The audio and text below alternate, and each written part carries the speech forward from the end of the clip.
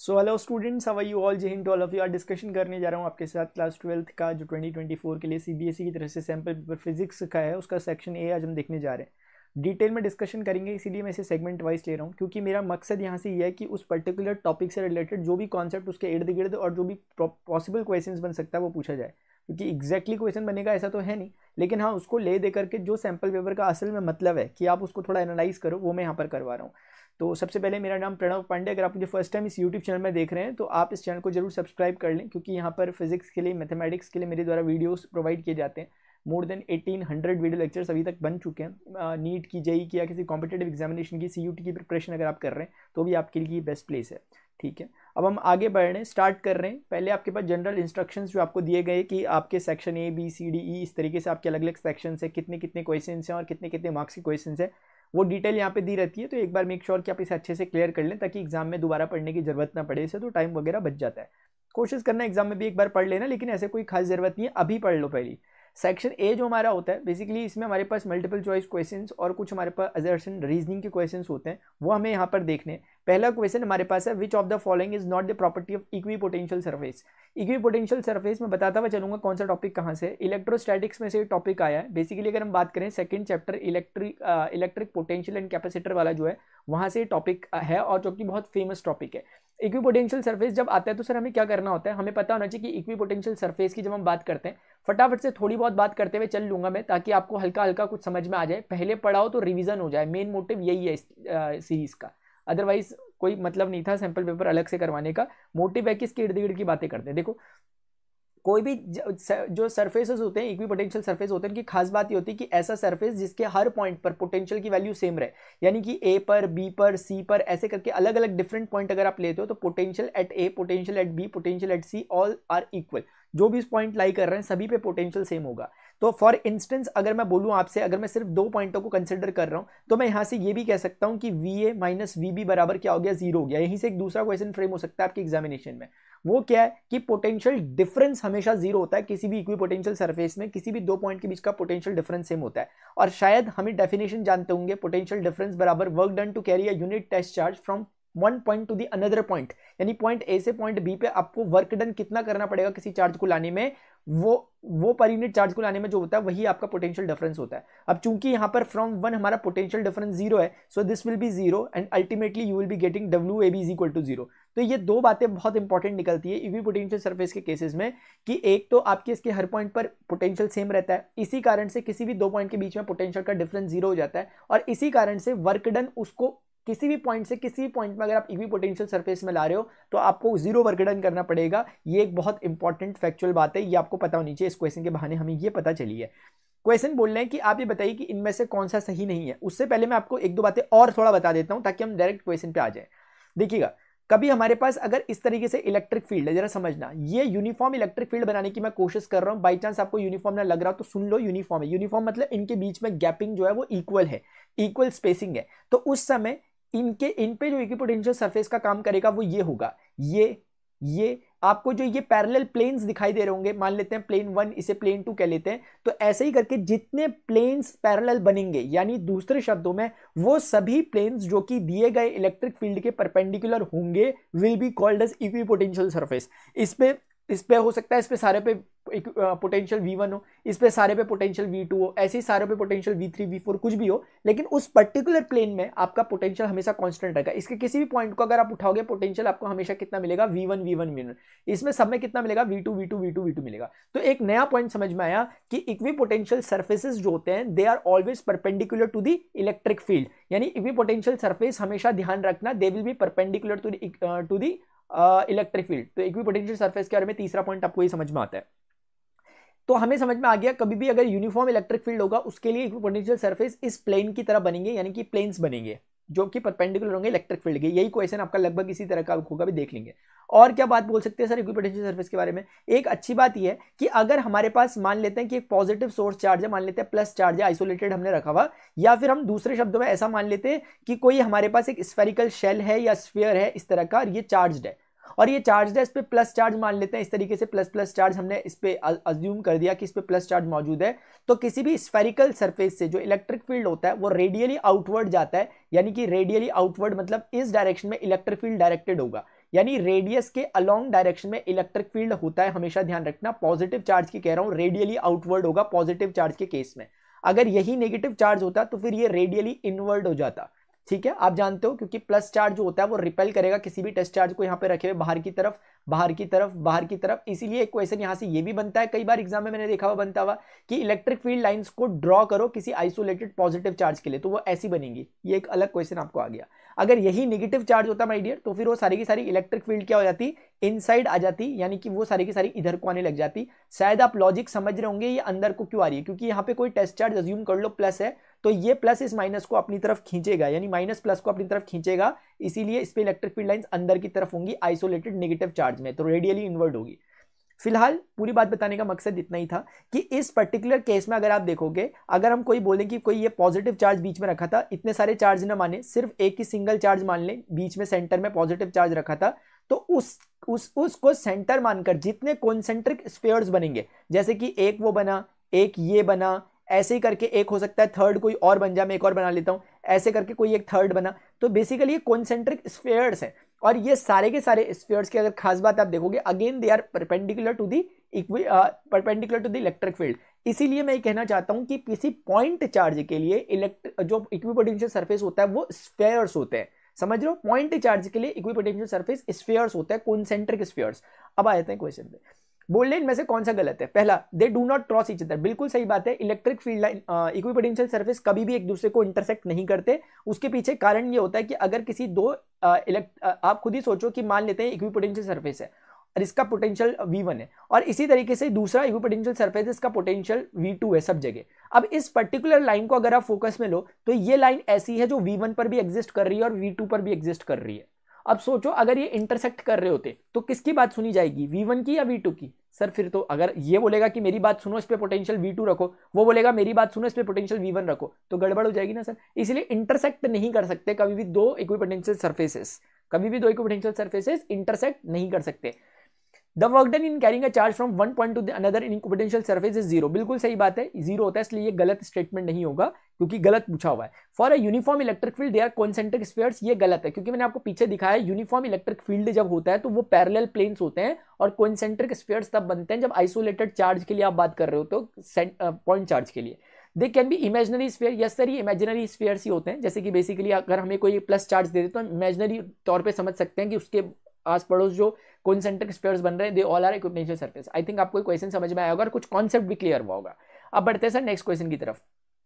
Electric dipole placed in, in an electric field of intensity इतना at an angle of इतना torque is इतना the charge on the dipole of dipole देखो इसका पहले एक बार concept समझ लो उसके बाद हम क्वेश्चन पे स्विच करते हैं. पहले कॉन्सेप्ट समझने पे फोकस करेंगे ठीक है? तो सर कॉन्सेप्ट कुल मिलाकर इतना होता है कि ये हमारे पास एक इलेक्ट्रिक फ़ील्ड है। आपको मैं हिंट दे रहा हूँ ताकि आपको समझ में आए कि जो आपने मेरे से डिटेल लेक्चर पढ़े हुए हैं, उनसे ये चीज़ें कैसे लिंक हो रही है। आपको ऐसा ना लगे कि कुछ नया ही क्वेश्चन आ गया। क्वेश्चन को पूछने का तरीका ज़रूर क्रिएटिव है, लेकिन चीज़ें वही है। आप इधर देखो, जैसे हम बोलते थे एक डेरिवेशन भी हमारा होता था। कि जब हम किसी इलेक्ट्रिक फ़ील्ड डायपोल को किसी इलेक्ट्रिक फ़ील्ड में रखते हैं तो क्या होता है? तो इसका आंसर होता था, सर, उसमें एक टॉर्क जनरेट होता है which tries to rotate an electric dipole with in the direction of an electric field याद करो सारी बातें, दोबारा दिखा देता हूँ। Minus Q plus Q charge है। आप जानते हो इलेक्ट्रिक फ़ील्ड अगर यहाँ से यहाँ लग रहा है, इसका मतलब यहाँ कोई पॉजिटिव टाइप की प्लेट रही होगी, यहाँ पे कोई नेगेटिव टाइप की प्लेट रही होगी समझाने के लिए तो प्लस इस प्लस को धक्का मारेगा आगे को, इसीलिए इस पर एक फोर्स लगता है एफ़ इज़ इक्वल टू जिसकी वैल्यू होती है क्यू ई और सिमिलरली इस पर अट्रैक्शन होगा, इसीलिए इस पे जो फोर्स लगेगा that will be F is equal to Q E again लेकिन अपोजिट डायरेक्शन में,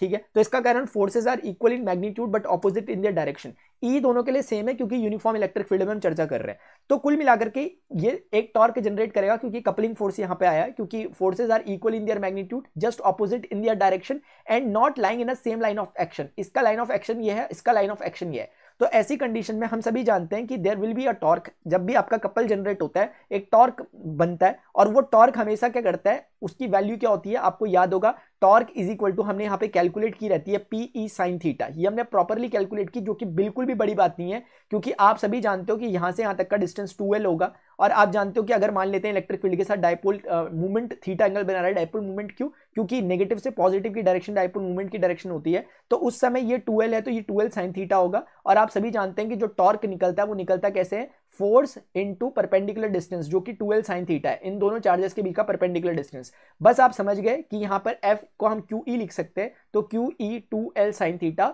और यहाँ से आप सीधे समझ सकते हैं कि क्यू और टू एल मिलकर डायपोल मूवमेंट पी बनाएँगे और ई साइन थीटा आपको डायरेक्टली समझ में आ गया डेरिवेशन कैसे हुआ, बहुत इंपॉर्टेंट डेरिवेशन था, इसलिए बता भी दिया लगे हाथ, क्योंकि मुश्किल नहीं था बताने में, इसलिए मैंने सोचा बता देता हूँ, फटाफट से अच्छे समझ में आ जाएगा। अब आप खुद सोचो, ये टॉर्क में क्वेश्चन आ सकता है कि what does this torque do ये क्वेश्चन भी बनता कई बार। तो आप लिख सकते हो this torque tries to rotate an electric dipole with in the direction of an electric field आप खुद ही समझो, ये इसको इधर को धक्का मार रहा है, ये इसको इस चार्ज पार्टिकल को इधर को धक्का मार रहा है। क्या इस पर रोटेशन नहीं आएगा? सर रोटेशन आएगा। और ये रोटेशन आने के कारण ये चाहेगा कि मैं ऐसा हो जाऊँ। ऐसा हो जाऊँ मतलब कि इलेक्ट्रिक फ़ील्ड की डायरेक्शन में चला जाऊँ। तो ये मेन बात होती है। बिल्कुल ध्यान रखना थीटा किसके बीच का एंगल है? पी वेक्टर और ई e वेक्टर के बीच का एंगल है। पी यानी कि डायपोल मूवमेंट ई वेक्टर यानी इलेक्ट्रिक फ़ील्ड के बीच का एंगल है। खुद ही समझ सकते हो कि अगर थीटा ज़ीरो हो गया, यानी कि अगर ये इलेक्ट्रिक फ़ील्ड के अलॉन्ग है तो कोई टॉर्क नहीं लेगा, क्योंकि टॉर्क बोलेगा, मेरा काम ऑलरेडी पहले से हुआ है। ठीक है? अगर थीटा की वैल्यू 90 है तो मैक्सिमम टॉर्क लगेगा जब इस तरह से डायपोल को आपने रखा होगा इलेक्ट्रिक फ़ील्ड के साथ तो मैक्सिमम रोटेशन आएगा समय तो टॉर्क की वैल्यू मैक्सिमम होगी। अब इसे क्वेश्चन के फॉर्मेट में समझते हैं, क्योंकि न्यूमेरिकल मैंने आपसे पहले भी बोला है, बनते ज़रूर है, लेकिन अगर कॉन्सेप्ट क्लियर है, हल्का सा हमारा। डेरिवेशन अच्छे से किया तो क्वेश्चन में कुछ भी नहीं है। इधर देखो। आपको दे रखा है इलेक्ट्रिक फ़ील्ड की जो वैल्यू है two into ten S to the power five newton per coulomb दे रखी है आपको इलेक्ट्रिक फ़ील्ड की वैल्यू उसके बाद at an angle of thirty degree experience a torque यानी थर्टी डिग्री पर रखा हुआ है और टॉर्क एक्सपीरियंस जो हो रहा है वो फोर न्यूटन मीटर का हो रहा है। The charge on the dipole of the dipole यानी चार्ज की वैल्यू कितनी होगी? जबकि आपको एल दे रखा है टू सेंटीमीटर टू सेंटीमीटर यानी two into ten S to the power minus two metre अब प्लीज़ ध्यान रखना, हम जब भी लेंथ को लेते थे ट्वेल्व लेते हैं एक तरह से। अपना अपना स्टाइल होगा समझने का, आप अपने स्टाइल से समझ सकते हो। तो कहने का मतलब होगा आप बोलोगे टॉर्क इज़ इक्वल टू हो गया sir P E sine theta क्योंकि हमें हम लोगों को पता है। अब जैसे ही आपने लिखा torque is equal to P E sine theta हो गया तुरंत टॉर्क की वैल्यू फोर डाल सकते हो। रही बात पी की वैल्यू तो पी होता था two two L into Q two L मतलब लेंथ और क्यू मतलब चार्ज की वैल्यू और ई साइन थीटा और साइन थीटा इस बार साइन थर्टी दिया दे रखा। आप सबको सॉल्व करो फोर लिखो ट्वेल्व की वैल्यू एक साथ लिखोगे कितनी? आप कंफ्यूज बिल्कुल नहीं होंगे इसमें मैं क्लियर कर कर, कर दिया मैंने एक्चुअली पहले ही आपको। ये इतना हो गया। रही बात ई e की तो एक्चुअली क्यू बच चुका है तो क्यू ही हमें निकालना है, मैं लिख दूँगा क्यू को। Two into ten raise to the power five और साइन थर्टी यानी कि हाफ़ होता है, और यहाँ पे क्यू निकालना है, उसे लिख दिया जो अननोन है। ये कट गया टू टू जार फोर हो गया। तो टू इंटू बराबर टेन की पावर फाइव माइनस टू कितना होता है? थ्री इंटू क्यू हो गया। तो क्यू बराबर हो गया two divided by ten raise to the power three और इसको आप ऊपर लाओगे तो two into ten raise to the power minus three coulomb हो जाएगा, जिसे आप दूसरे शब्दों में टू मिली कूलम बोल सकते हो, क्योंकि मिली मतलब इतना होता है। तो ऑप्शन आपका नंबर सी आपका सही हो गया और बिल्कुल एकदम स्ट्रेट फॉरवर्ड क्वेश्चन है, कुछ भी नहीं है। और मैंने इस बार भी, जैसे कि आपसे बोला था, मैंने इस बार भी ज़िक्र कर दिया, इसके पीछे का कॉन्सेप्ट क्या है। ठीक है? हाँ। अब लेकिन आपको एक सजेशन दे देता हूँ टिप के तौर पे। अगर आपने थोड़ा बहुत पहले पढ़ा हुआ है तो इसके बाद वाला जो टॉपिक है, जिसमें पोटेंशियल एनर्जी वाली चीज़ें डिस्कस होती है, उससे क्वेश्चन बनने के चांसेस हैं। ठीक है? आप बोलोगे तो मैं अलग से फिर अपने एक्सपेक्टेड एमसीक्यूज भी ले आऊँगा। आप कमेंट सेक्शन में बता देना। ये मैं फ़िलहाल वही करा रहा हूँ जो सैंपल पेपर में दिए a metallic plate expose to white light emits electron for which the following colours of light the stopping potential will be बहुत easy question one of the easiest question ये, लेकिन देखो इजी तब होगा जब हमने चैप्टर पढ़ा है। अभी हाल ही में मैंने आपको सारे वन शॉट्स कराए। वन शॉट कराए इसलिए गए ताकि आपका एक बारी में प्रॉपर रिवीजन हो जाए विद अंडरस्टैंडिंग सिर्फ़ ऐसी नहीं कि काम चलाऊ करा रखा। प्रॉपर अंडरस्टैंडिंग के लिए डेढ़ डेढ़ दो दो घंटे तक बैठा के करा रखे। आपको याद होगा dual nature of matter radiation मैंने एक्जैक्ट मतलब बता रखा है जो नोट्स दिए थे मैंने आपको व्हाट्सएप ग्रुप में डिस्क्रिप्शन में आप देखना। वहाँ पर भी और टेलीग्राम में भी डाले थे, उसमें भी मैंने स्ट्रिक्टली आपको समझा रखा है, लिख लिख के बता रखा है कि भाई स्टॉपिंग पोटेंशियल का मतलब क्या होता है। वो टॉपिक तो भी दोबारा रिलेट नहीं कर पाऊँगा, लेकिन हाँ इतना हल्का सा भी बता सकता हूँ कि जब भी आपकी जैसी ये प्लेट है, आपको क्योंकि मैंने बोला है कॉन्सेप्ट दूँगा तो कॉन्सेप्ट देता हुआ चलता हूँ डायरेक्ट आंसर ना बताते हुए। देखो इधर। ये एक प्लेट रहती है। इस प्लेट पे जैसे ही आपका कोई एक फोटोन गिरता है, मान लेते हैं किसी एच न्यू एनर्जी का कोई फोटोन गिरता है, इससे इलेक्ट्रॉन का इजेक्शन चालू होता है। अब ये इलेक्ट्रॉन भागते हुए जाते हैं सामने वाली प्लेट पे, उस प्लेट को इमीटर कहते हैं और इसको एक्सेप्टर आप कह सकते हो, इस प्लेट पे जाते हैं। ये इमीटर से निकल रहे इससे निकल रहा है, इसलिए इसे इमीटर कह दिया और एक्सेप्टर की तरफ़ जाते हैं। यानी कि पॉजिटिव प्लेट ही होती है। अच्छा ही पॉजिटिव क्यों होती हुई? क्योंकि हम इसे इस तरीके से कनेक्ट कर रखा है हमने कि यहाँ पर हम पॉजिटिव पोटेंशियल देते हैं इस प्लेट को। तो आपको स्टोरी भी समझा देता हूँ साथ ही साथ।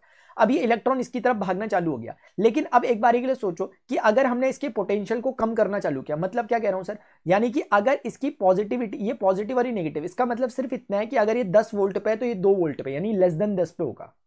अब मैं कहना चाह रहा हूँ कि मैं इसकी पोलैरिटी को बदलूँगा धीरे धीरे क्योंकि हमने इस तरह का अरेंजमेंट किया रहता है कि इसकी पोलैरिटी को और इसके मैग्नीट्यूड को हम समय के साथ साथ बदल सकते हैं।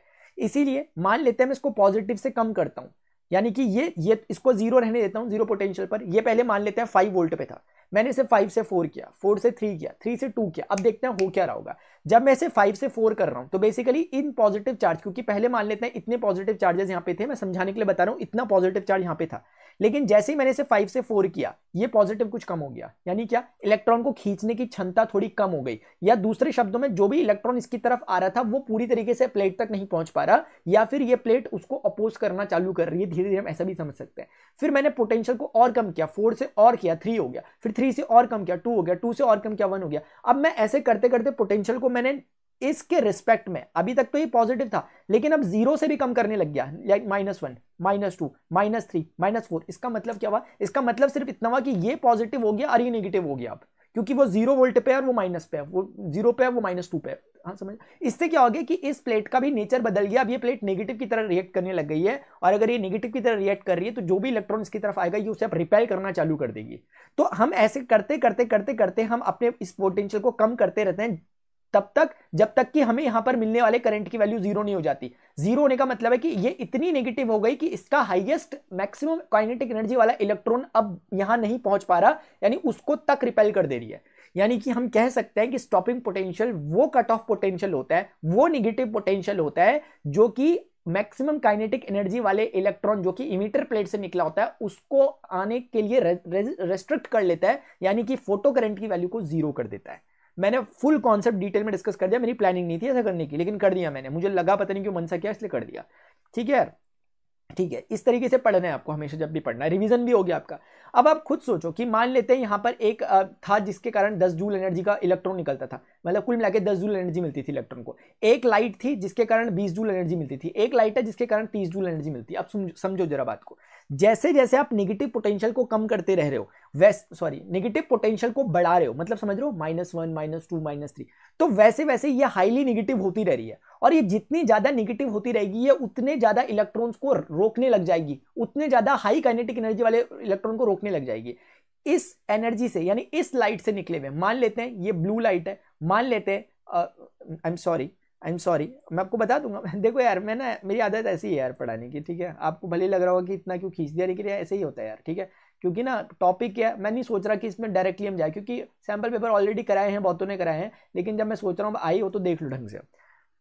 देखो हमने एक बहुत सिंपल सा रूल मैंने आपको हमेशा बता रखा है कि energy is directly proportional to nu होती है, तभी हम E is equal to H nu कहते हैं। जिसका न्यू ज़्यादा, उसकी एनर्जी ज़्यादा। न्यू मतलब होती है फ्रीक्वेंसी और फ्रीक्वेंसी पहचानने का सबसे अच्छा तरीका होता है कलर और मैंने आपको हमेशा बता रखा है विदग्योर ध्यान रखा करो, और विदग्योर में आगे जाते समय फ्रीक्वेंसी डिक्रीज होती है। यानी कि वॉयलेट कलर की जो लाइट होगी, उसके पास सबसे ज़्यादा फ्रीक्वेंसी होगी। इसका मतलब उसके पास सबसे ज़्यादा एनर्जी होगी। उसके बाद फिर इंडिगो फिर ब्लू इस तरीके से होती है। यानी सबसे कम एनर्जी रेड कलर की लाइट के पास होती है। तो अभी के केस में समझ में आ रहा है कि ब्लू के पास सबसे ज़्यादा, फिर ग्रीन के पास से कम, फिर रेड के पास सबसे कम है, समझ में आ रहा है। तो इसमें क्या होगा ना कि जैसे जैसे आप निगेटिव पोटेंशियल को बढ़ाते रहते हो यानी कट ऑफ़ पोटेंशियल को बढ़ाते रहते हो स्टॉपिंग पोटेंशियल को बढ़ाते रहते हो। वैसे वैसे ये प्लेट मोर निगेटिव होती है, यानी कि ये एनर्जेटिक इलेक्ट्रॉन को भी यहाँ पर रोकती रहती है। तो आपके पास एक ही तरीका, अगर आप तब भी चाहते हो कि मैं इलेक्ट्रॉन को भेजूं वहाँ पे तो आपको हाईएस्ट काइनेटिक एनर्जी वाले इलेक्ट्रॉन्स को भेजना पड़ेगा। और वो तभी पॉसिबल है जब आप ज़्यादा फ्रीक्वेंसी वाली लाइट को भेजोगे। ये बात मैं कह रहा था। शायद आप समझे होंगे, आप ज़्यादा नहीं बोलता। अब metallic plates a metallic plates exposed a white light emits electron for which of the following light the stopping potential will be maximum तो स्टॉपिंग पोटेंशियल मतलब आप समझ रहे होंगे, ये या तो ये स्टॉपिंग पोटेंशियल वर्ड यूज़ कर सकते हैं, या ये इसे निगेटिव पोटेंशियल बोल सकते हैं। वो मैक्सिमम किसके लिए होगा? सर वॉयलेट लाइट के लिए मैक्सिमम होगा। बहुत क्लैरिटी के साथ समझ में आना चाहिए, क्योंकि वॉयलेट लाइट के लिए इसलिए ज़्यादा होगा, क्योंकि वॉयलेट लाइट की जो फ्रीक्वेंसी है, वो सबसे ज़्यादा, आगे जाने पे फ्रीक्वेंसी कम होती है, इसलिए इसकी सबसे ज़्यादा फ्रीक्वेंसी होगी और इसकी सबसे ज़्यादा फ्रीक्वेंसी होगी तो इससे निकला हुआ जो इलेक्ट्रॉन होगा, यानी कि वॉयलेट लाइट से निकला हुआ जो इलेक्ट्रॉन होगा, वो हाईली एनर्जेटिक होगा, यानी कि maximum kinetic energy maximum energy लेके आएगा और सबकी कंपेरिजन की लाइट के उसमें। और अगर ये प्लेट इसको भी रोक दे रही है तो ज़रूर इसका मतलब यहाँ पे बहुत ज़बरदस्त तगड़ा वाला स्टॉपिंग पोटेंशियल आपने यूज़ किया होगा। यानी कि सबसे ज़्यादा स्टॉपिंग पोटेंशियल यूज़ करना होगा जब आपको सबसे ज़्यादा हाई काइनेटिक एनर्जी के इलेक्ट्रॉन को रोकना है।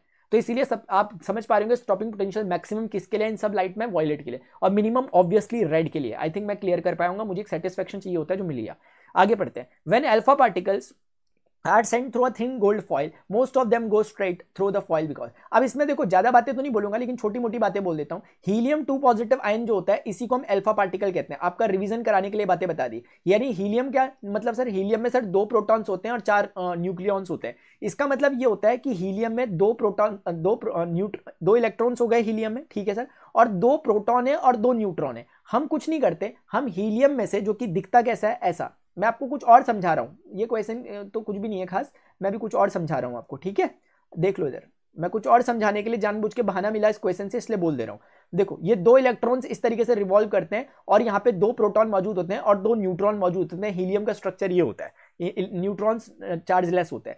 तो हम क्या करते हैं कि इसके इस इलेक्ट्रॉन को यहाँ से इजेक्ट करवा देते हैं। तो अब बेसिकली हीलियम में से दो इलेक्ट्रॉन चले गए। तो हीलियम के पास जो टोटल चार्ज आया, दो प्लस का, क्योंकि अब उसके पास पहले क्या था? हीलियम अनचार्ज था, क्योंकि दो पॉजिटिव दो निगेटिव थे। लेकिन अब हीलियम के पास सिर्फ़ दो पॉजिटिव बचे हुए, इसीलिए अब इसे हम कहते हैं हीलियम का न्यूक्लियस जब उसमें से दोनों इलेक्ट्रॉन चले जाते हैं। और इसी हीलियम के न्यूक्लियस को हम अल्फ़ा पार्टिकल कहते हैं। फ़िलहाल के लिए ये बात समझ लो, बाकी इस क्वेश्चन में ज़्यादा कुछ नहीं था, क्योंकि इस क्वेश्चन में सिर्फ़ इतना ही है कि बोलते हैं कि अल्फ़ा पार्टिकल या आप नाइन्थ क्लास के बच्चों से पूछोगे वो भी आपको बता देंगे एटॉमिक स्ट्रक्चर में जब हम पढ़ते हैं, कि most of the alpha particle जो थे वो सीधे चले गए। सीधे इसलिए चले गए क्योंकि क्योंकि जो एटम था उसका मोस्ट ऑफ़ द पार्ट क्या है? वैकेंट है। 99 percent part of atom is vacant ये यहाँ से निकल के आती है बात। और फिर उसके बाद, लेकिन कुछ एक 8000 में से एक इलेक्ट्रॉन रिटर्न बैक करता है। तो वो ये बताने की बात है कि सेंटर में इसका पावरफुल चार्ज मौजूद है प्लस चार्ज प्लस इसलिए क्योंकि उसने अल्फ़ा पार्टिकल को बाउंस बैक किया। और अल्फ़ा पार्टिकल पॉजिटिव नेचर का तो पॉजिटिव को बाउंस बैक पॉजिटिव ही कर सकता है, इसीलिए इसके न्यूक्लियस में कोई पॉजिटिव चार्ज बैठा हुआ है। तो फ़िलहाल के लिए इस क्वेश्चन में तो बहुत सिंपल क्वेश्चन था कि when alpha particles are sent through a thin gold foil most of them go straight through the foil most of them straight चले जाते हैं। इसका कारण क्या? क्योंकि वैकेंट है अंदर से काफ़ी पार्ट अब देखते हैं alpha particles are positive charge इसका कोई रीजन नहीं है इसमें। The mass of an alpha particle is more than the mass of an electron ये बात सही है, लेकिन इसका इससे कोई लेना देना नहीं है। उसके बाद most of the part of an atom is empty space ये बिल्कुल सही बात है. Alpha particle moves with high velocity वो बात सही है, लेकिन इसका लेना देना नहीं है क्वेश्चन से. क्वेश्चन से लेना देना तीसरे वाले का ही है सिर्फ़. ठीक है? तीसरे का लेना देना है क्योंकि अल्फ़ा अगर वो खाली होगा तो बिना टकराए चले जाएगा अल्फ़ा पार्टिकल बस ये इसका एक्सप्लेनेशन दिया था। ये मैंने नहीं दिया था सर अदर फोर्ड ने दिया था। अच्छा an electron is moving along a positive axis in magnetic field which is parallel to the positive Y axis देखो जरा, ध्यान से समझो, बहुत सिंपल क्वेश्चन है। ये क्वेश्चन भी वैसे तो ये क्वेश्चन भी लगभग लगभग टेंथ क्लास का बच्चा बता सकता है मेरे ख्याल से। लेकिन देख लो, हम लोग क्लियरिटी के साथ बता सकते हैं। ये बोल रहे हैं कि an electron is moving along a positive X axis यानी कि ये एक पॉजिटिव एक्स एक्सिस है और इलेक्ट्रॉन इसके अराउंड मूव कर रहा है, इसके अलॉन्ग मूव कर रहा है। मान लेते हैं इलेक्ट्रॉन मूव कर रहा है। Magnetic field which is parallel to the positive axis यानी कि इलेक्ट्रॉन मूव कर रहा है पॉजिटिव एक्स एक्सिस में inside a magnetic field and magnetic field is along to the Y axis parallel to the positive axis यानी कि अगर हम बोले कि ये वाई एक्सेस है, हम ऐसे बनाते हैं, अगर इसे भी जेड एक्सेस बना दो तो देखते हैं क्या होगा। तो ऐसे ही मैंने बना दिया। जनरली हम ऐसे ही बनाते हैं। तो कुल मिलाकर मैग्नेटिक फ़ील्ड का डायरेक्शन जो है this is the direction of magnetic field ठीक है? अब वो बोल रहे हैं now if the direction will be the तब बोल रहे हैं in what direction will the magnetic force be act magnetic force की बात कर रहे हैं, यानी कि लॉरेंस मैग्नेटिक फोर्स आपको याद होगा, शायद ये बहुत बेसिक चीज़ होती थी। Q V vector cross B vector बहुत डिटेल में मैंने इसको बताया रहता है। अभी हाल ही में मैंने वन शॉट डाला था। डिटेल में सब डिस्कशन किया इसके बारे में। तो जिन्होंने वो देखा था, वो तो हंड्रेड परसेंट कर दिया होगा उन्होंने। बाकी लोग प्लीज़ देख लें यहाँ पे, अगर आपको नहीं समझ में आता तो। ठीक है? ये निकलता है। Q V V sine theta कोई खास इसका, इसको डायरेक्टली आप ऐसे भी बोल सकते हो। अगर आप इसका सिर्फ़ मैग्नीट्यूड बोलना चाहते हो, फिर आपको डायरेक्शन देना पड़ेगा और डायरेक्शन ऑब्वियसली क्या है? वी वेक्टर और बी वेक्टर के क्रॉस के इक्वल हमें इसमें डायरेक्शन ही बताने हैं। तो आपको वी वेक्टर और वी वेक्टर क्या होता है? ध्यान रखो। सोचो, इसमें दो केस हो सकते हैं। इफ़ क्यू इज़ पॉजिटिव और इफ़ क्यू इज़ नेगेटिव ध्यान से समझना। अगर मान लेते हैं क्यू पॉजिटिव चार्ज है तो एफ़ वेक्टर जो होगा वो V vector cross B vector के अलोंग होगा। लेकिन अगर सोचो क्यू नेगेटिव हो गया तो यहाँ से नेगेटिव आ जाएगा और वी क्रॉस बी तो वहीं रहेगा। इसका मतलब उस समय एफ़ हो जाएगा directly proportional to negative of V vector cross B vector यानी कि अगर आप किसी इलेक्ट्रॉन जैसी चीज़ के लिए बात करो, जैसे इस क्वेश्चन में की जा रही है जो नेगेटिव है तो इसमें आप वी क्रॉस बी का जो आंसर निकालोगे, वो फोर्स का डायरेक्शन नहीं होगा, उसका जस्ट ऑपोजिट करना पड़ेगा। जैसे, एक बार वी क्रॉस बी निकालते हैं। कैसे निकालते हैं V cross B sir V मतलब इसी वेलोसिटी से इलेक्ट्रॉन इधर को मूव कर रहा था। तो वी क्रॉस बी नीचे को जा रहा है। प्लीज़ ध्यान से देखो वी क्रॉस बी अगर आप थोड़े पढ़े लिखे लोग हैं आप जानते होंगे कि वी क्रॉस बी मतलब क्या हुआ? सर वी मतलब किसके लॉन्ग है? एक्स एक्सिस के तो आई कैप हो गया। बी किसके लॉन्ग है? सर जे कैप तो आई क्रॉस जे कितना होता है? के कैप ना? एक मिनट ये क्या हो रहा है? आई क्रॉस जे कितना होता है? के होता है ना यार। आई जे के होता है बिल्कुल सही बात है। लेकिन आ, मुझे गलत सा क्यों लग रहा है इसमें? ये माइनस क्यों होना चाहिए था क्या? हम्म? एक minute Q B cross B नहीं। एक minute V vector I X axis का लॉन्ग है अच्छा देखो मेरी बात सुनो। ये हो गया आई कैप के लॉन्ग और बी वेक्टर हो गया आपका जे कैप के लॉन्ग और रिज़ल्ट आया के कैप का लॉन्ग दोबारा से, एक बार मैंने इसको पहले फेयर वर्क में करता हूँ, उसके बाद में ये देखूँगा जो मैं यहाँ देखना चाह रहा था। अब ये एक बार अच्छा v है ना? V से b की तरफ़ आएँगे हम। आप समझ रहे हो राइट हैंड रूल कैसे लगता है? V वेक्टर ये है। ये है ना, इस तरह की सिचुएशन है वो, इस तरह की। ये है वी वेक्टर का डायरेक्शन और ये आपको दिख रहा होगा शायद, ये है बी वेक्टर का डायरेक्शन ये है बी वेक्टर का डायरेक्शन ये वाला। तो वी से हाथ रखो वी में बी की तरफ़ कर्ल करो, यानी इसको कर्ल करोगे थम नीचे जाएगा। नीचे मतलब कि नीचे, यानी कि इसके परपेंडिकुलर जाएगा, जो कि डायरेक्शन हो जाएगा, कौन से एक्सिस का? नेगेटिव जेड एक्सिस का। यानी कि ये जो डायरेक्शन है basically this is the direction of V cross B लेकिन इलेक्ट्रॉन की बात चल रही है और इलेक्ट्रॉन के लिए हम समझ सकते हैं कि इलेक्ट्रॉन के लिए हमें निगेटिव लेना है वी क्रॉस बी का, जो कि याली डायरेक्शन में जाएगा। यानी negative of V vector cross B vector इधर जाएगा और इस केस में वही फोर्स का डायरेक्शन होगा। यानी पॉजिटिव जेड एक्सिस के अलॉन्ग हमारा डायरेक्शन आएगा। ये मेरा रिज़ल्ट आ रहा है। मैं इसको दोबारा से क्रॉस चेक वगैरह और करना चाहता हूँ जरा, दूसरे तरीके से भी, ठीक है? आई थिंक मैं सही कर रहा हूँ, कुछ गलत नहीं कर रहा। An electron is moving along a positive axis in magnetic field which is parallel to the positive Y positive Y axis what direction will the magnetic field force be acting on the electron V में रखा B की तरफ़ curl किया we cross भी नीचे हो गया। मेरा तो बिल्कुल सही आ रहा है। ठीक है? या मैं से दूसरे ठीक है यार, यही आ रहा है, मुझे यही लग रहा है। आप देख लेना अलॉन्ग पॉजिटिव जेड एक्सेस अगर आपको इसमें कोई डाउट है प्लीज़ नीचे पे मुझे बता देना। लेकिन मुझे पता नहीं क्यों लग सा रहा है कि कहीं कुछ दिक्कत तो नहीं हो रही, लेकिन एक तरफ़ से आ रहा है कि नहीं यार, सब कुछ तो सही किया हुआ, दिक्कत कहाँ से हो रही है? क्योंकि मुझे ऐसा आ रहा ना कि जब मैं क्वेश्चन करके आ रहा था, तब शायद अलॉन्ग माइनस जेड एक्सेस आ रहा था, ऐसा मुझे याद आ रहा है। इस कारण से मुझे कंफ्यूजन क्रिएट हो गया, वरना मैं डायरेक्टली यही आंसर बोलने वाला था। ठीक है? लेकिन मैं एक दूसरे तरीके से भी सोच रहा था करने की इसको। दूसरा तरीका यह है कि V vector cross B vector ये नेगेटिव जब हो गया, अगर कोई समझते हैं आप में से बात तो आप समझ पा रहे होंगे ये बेसिकली इसके इक्वल हो गया। और इसका मतलब है बी वेक्टर अलॉन्ग है जे कैप के और वी वेक्टर अलॉन्ग है आपका आई केप के। और जे क्रॉस आई माइनस के होता है। तो देखो यहाँ से भी माइनस आ रहा है यार। राइट हैंड थम रूल काम क्यों नहीं कर रहा है? राइट हैंड सम रूल काम नहीं कर रहा। है लेकिन दूसरे तरीके से मेरा आंसर माइनस किया रहा। है तो मैं इसे थोड़ा सा अभी रख लेता हूँ यार। ठीक है? मैं इसे नीचे कमेंट सेक्शन में आप बताना, मैं देखूँगा इसे वहाँ पर, वरना मैं क्लियर करके बता दूँगा बाद में। The relative magnetic permeability of substance इसमें बहुत इंपॉर्टेंट कॉन्सेप्ट यूज़ हो रहा है। हो सके तो प्लीज़ इसे समझने की कोशिश करना। क्योंकि इसके कॉन्सेप्ट को मैं डिटेल में बताना चाहता हूँ आप लोगों को। थोड़ा टाइम भले ही लग जाएगा, क्योंकि ये कंफ्यूजिंग रहता है कई बार। आपने सुना होगा मैग्नेटिक ससेप्टिबिलिटी आपने मैग्नेटिक फ़ील्ड फोर्स सुना होगा, या आपने इंटेंसिटी ऑफ़ मैग्नेटाइजेशन सुना होगा पैरामैग्नेटिक डायामैग्नेटिक फेरोमैग्नेटिक ये सुना होगा, और परमेबिलिटी सुना होगा। इन सारे कॉन्सेप्ट को मैं अभी बता रहा हूँ हाथों हाथ। कोई ज़रूरत नहीं थी सब कुछ करने की, लेकिन मैंने पहले ही बोला, ये हम बहाने के तौर पर ले रहे हैं सैंपल पेपर को। मैं इसके ज़रिए अभी कॉन्सेप्ट बिल्ड कर रहा हूँ। इधर देखो। हमारे पास कुछ टर्म्स होते हैं, जैसे एक होता है हमारे पास जाय ये जाई जो होता है, इसे कहते हैं मैग्नेटिक ससेप्टिबिलिटी क्या कहते हैं इसे? Magnetic susceptibility magnetic susceptibility magnetic susceptibility, sir क्या करती है? ये होती है, सर, यहाँ पे इनपुट होता है और ऊपर पे आपके पास होता है आउटपुट। इसका मतलब क्या होता क्या होता है? सर, ये आई का मतलब है इंटेंसिटी ऑफ़ प्लीज़ समझना ध्यान से, मैं आपका टॉपिक क्लियर कर रहा हूँ, ये वाला। कई बच्चों को टॉपिक में प्रॉब्लम रहती है। इंटेंसिटी ऑफ़ मैग्नेटाइजेशन अभी मैं समझाऊँगा इसका मतलब क्या हुआ। इंटेंसिटी ऑफ़ मैग्नेटाइजेशन है, और नीचे पर जो आपने एच लिखा हुआ, इसको हम मैग्नेटिक इंटेंसिटी भी कहते हैं, या मैग्नेटिक फोर्स भी कहते हैं। तो आप, जो आपका मन करे, वो आप कह लें। ये एच लिखा हुआ एम नहीं समझना। ये मैग्नेटिक इंटेंसिटी है। मैग्नेटिक फ़ील्ड इंटेंसिटी आप इसे कह सकते हो ठीक है? जैसे इलेक्ट्रिक फ़ील्ड इंटेंसिटी और electric field almost same same होता था ना ई e, वैसे यहाँ नहीं है मैग्नेटिक फ़ील्ड जनरली यूज़ किया जाता है बी के लिए और मैग्नेटिक फ़ील्ड इंटेंसिटी यूज़ किया जाता है एच के लिए। तो इस तरीके से मैं एक एक करके क्लियर करता हूँ आपको फंडा क्या है। ये एच के बारे में थोड़ी सी एक बात मैं आपको पहले यहाँ कोने में बता दूँ कि एच जब भी आपको निकालना होता है, इसको निकालने का तरीका क्या है? इसको निकालने का तरीका आपका जो मैग्नेटिक फ़ील्ड इंडक्शन होता है बी होता है, उसको म्यू नॉट से डिवाइड कर देते हैं तो आपका एच निकल जाता है। और एच बेसिकली एक वैक्टर क्वांटिटी होगी ऑब्वियसली क्योंकि वो भी बी वैक्टर और म्यू नॉट भले एक स्केलर है। तो बी वेक्टर का जो डायरेक्शन वही एच का डायरेक्शन आप समझो बात को। जैसे फॉर एग्ज़ाम्पल हम समझे कि एक सॉलिनॉइड है इस सॉलिनॉइड के केस में आप सभी जानते हो कि सॉलिनॉइड में जो मैग्नेटिक फ़ील्ड होता है सॉलिनॉइड में जो मैग्नेटिक फ़ील्ड बनता है, अगर आप जानते हो तो mu naught into N I होता है, जहाँ पे एन जो आपका है, वो कुछ और नहीं number of turns per unit length होते हैं।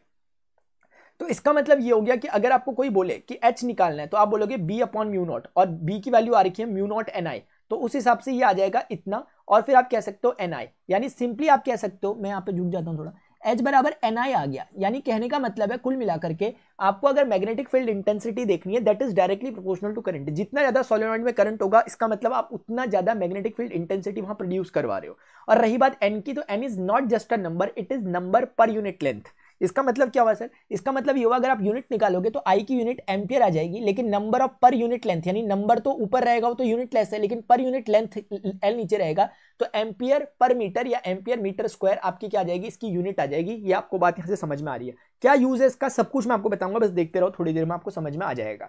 मैं पहले कहानियों के थोड़े किरदारों से आपको इंट्रोड्यूस करवा रहा हूँ, फिर एकदम से फिजिक्स बताऊँगा इसके पीछे की क्या होती है। आई थिंक आपको यहाँ तक की बातें समझ में आ रही होगी। अब हुआ सर, एक तो एच हल्का हल्का समझ में आया अभी, थोड़ा बहुत समझ में आ गया क्या होता है, अभी देखते हैं।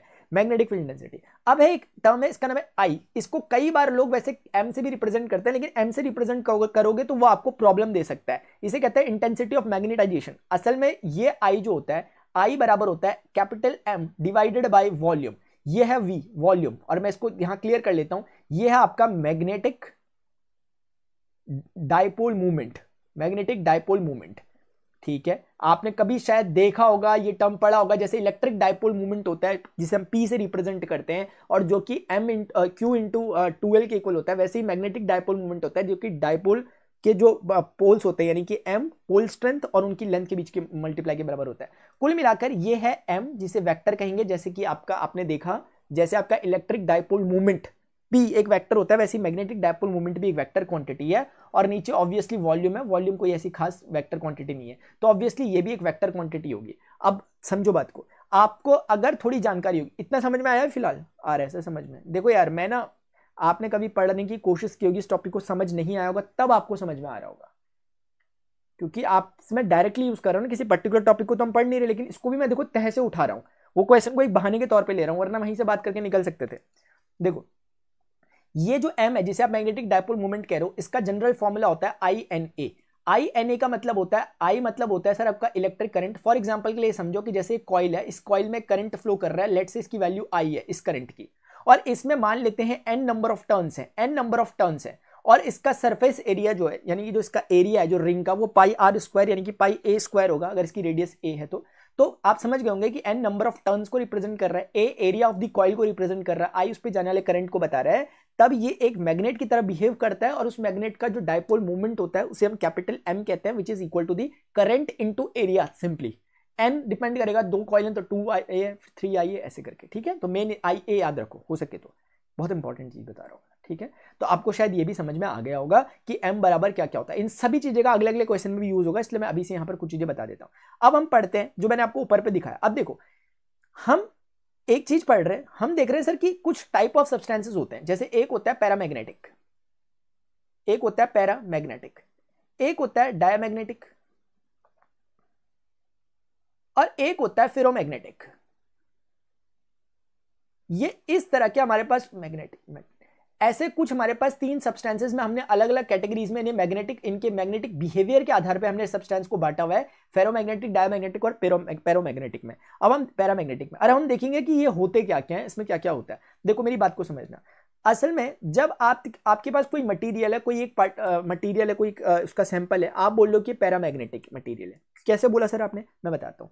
आपने इस पे एक एक्सटर्नली बाहर से एक एच क्रिएट किया। एच का मतलब सर फ़ील्ड स्ट्रेंथ यानी मैग्नेटिक फ़ील्ड स्ट्रेंथ या सरल शब्दों में ये समझो कि करंट कुरेंट लगा के मैग्नेटिक फ़ील्ड जनरेट कर रहे हो आप, क्योंकि मैंने आपको पीछे दिखाया H is simply equal to I A आप देखो यहाँ पर N I H is simply equal to N I तो कुल मिला के बेसिकली आपने पर यूनिट लेंथ में जितना करंट डाला, उसी को हम एच कहते हैं। दूसरे शब्दों में आप समझ पा रहे होंगे, ये एक काइंड ऑफ़ इनपुट है जो आपकी तरफ़ से दिया जा रहा है सिस्टम में।